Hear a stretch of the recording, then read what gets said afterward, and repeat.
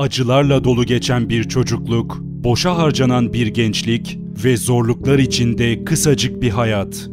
Ama asla itaat etmeyen, hep sorgulayan, soru sora sora kendi doğrularını bulan ve adını ölümsüzleştirerek yıllar boyu insanlığa bir umut ışığı olan muhteşem bir karakter. Malcolm X Amerika Birleşik Devletleri'nde ırkçılıkla mücadelenin sembol isimlerinden biri olan Müslüman aktivist Malcolm X, 19 Mayıs 1925'te Nebraska eyaletindeki Omaha'da doğdu. Asıl adı Malcolm Liddell'dır.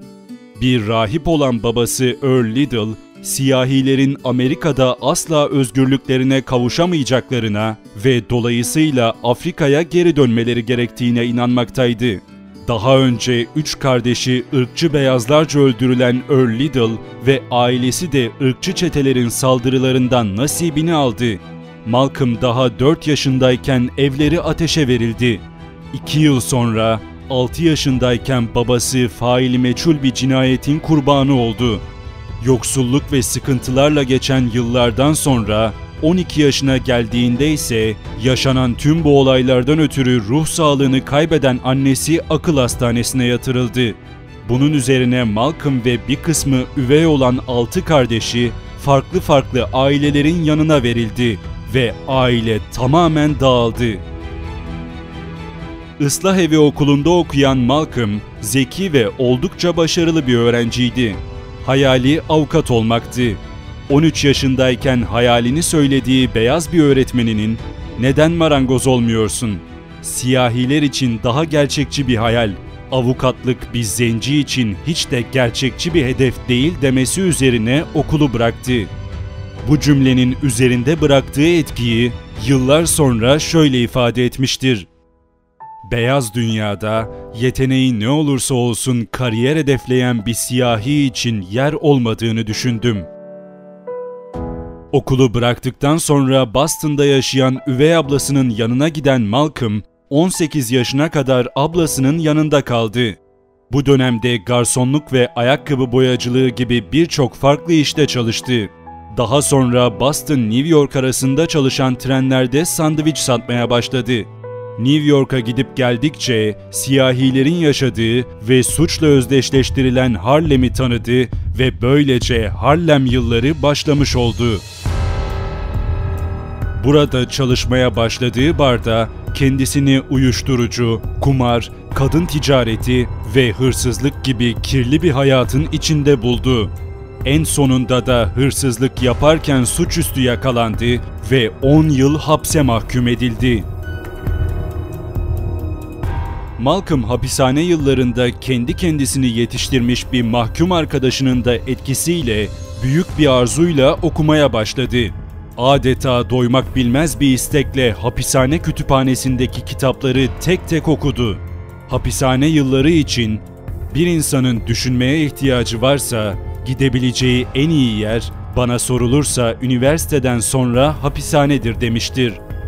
Bu dönemde siyahi milliyetçiliğini savunan ve hatta Tanrı'nın da siyahi olduğunu söyleyen Amerika'daki ilk siyahi Müslüman hareketinin öncüsü Aliyah Muhammed'in görüşlerini benimseyerek mektuplaşmaya başladı. Beyazlara karşı duyduğu öfke, Aliyah'ın görüşlerini benimsemesini kolaylaştırmıştı. 1952 yılında şartlı tahliye ile hapisten çıkan Malcolm Liddell, bambaşka bir insan olarak Harlem'e geri döndü Hapisten önce bir sokak serserisiyken şimdi Amerika'da büyük bir hızla gelişen İslam'ın etkili ve ateşli bir temsilcisiydi. Aliyah Muhammed'in kurduğu İslam milleti anlamına gelen Nation of Islam hareketine katıldı. Enerjisi ve harekete bağlılığıyla dikkat çekti ve teşkilat içinde Aliyah Muhammed'in sağ kolu haline geldi. Bu tarihten itibaren davasının isimsiz bir hizmetkarı olduğunu simgeleyen X soyadını kullanmaya başlayan Malcolm X, şeytan diye tanımlanan beyaz adamdan kurtulmaya amaçlayan, sözünü sakınmayan, korkusuz, ateşli bir konuşmacı olarak siyahileri harekete geçirmeye çalıştı.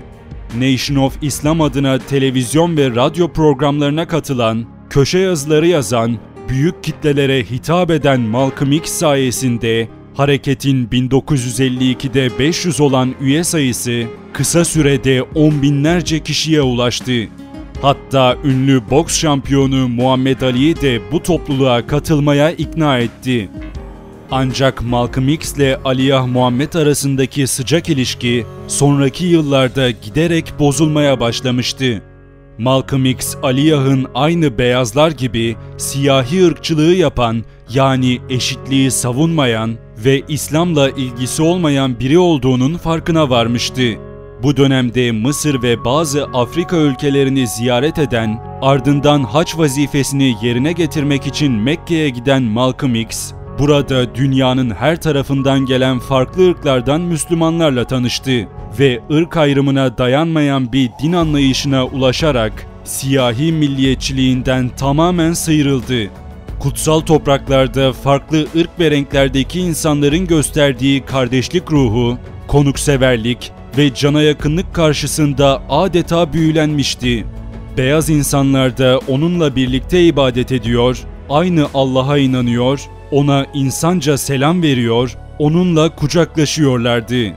Malcolm bu duruma o kadar şaşırmıştı ki eşine gönderdiği mektupta hayretini şöyle dile getiriyordu. Betty, bu sözlerime belki şaşıracaksın ama gözleri mavi, saçları sarı, tenleri bembeyaz olan Müslüman kardeşlerimle aynı bardaktan su içtim. Aynı kaptan yemek yedim. Biz hepimiz kardeşiz. Rengimiz ya da ırkımız ne olursa olsun hepimiz insanız ve aynı Allah'a inanıyoruz. Malcolm X Mekke'den arınmış, rahatlamış ve gerçeği bularak aydınlanmış bir şekilde Amerika'ya döndü.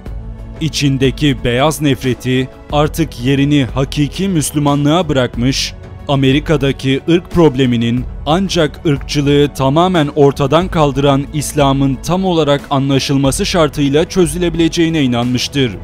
Döner dönmez yaptığı bir basın açıklamasıyla Nation of Islam örgütünden ayrıldığını ve ismini de Malik el Şahbaz olarak değiştirdiğini açıkladı.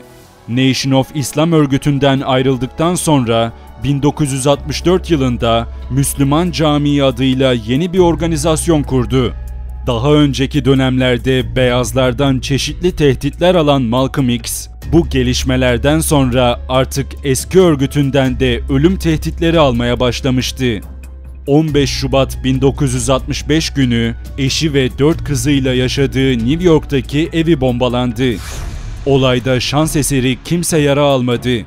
Fakat bu olaydan 6 gün sonra 21 Şubat 1965'te Malcolm X Harlem'deki bir salonda konuşma yaptığı sırada yanına yaklaşan 3 kişinin silahından çıkan 15 kurşunun hedefi oldu.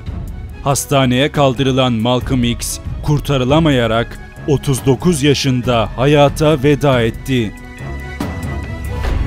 Malcolm X'e düzenlenen suikast hala gizemini korusa da Nation of Islam üyesi 3 kişi cinayet suçundan mahkum edildi. Suikastin arkasında hayatının son döneminde Malcolm X'i sıkı takip altında tutan FBI'ın olduğuna dair iddialar da ortaya atıldı. Malcolm X'in zorluklar ve mücadeleyle dolu hayatı hem de düşünceleri yaşamını yitirmesinden sonra da birçok insana ilham kaynağı oldu.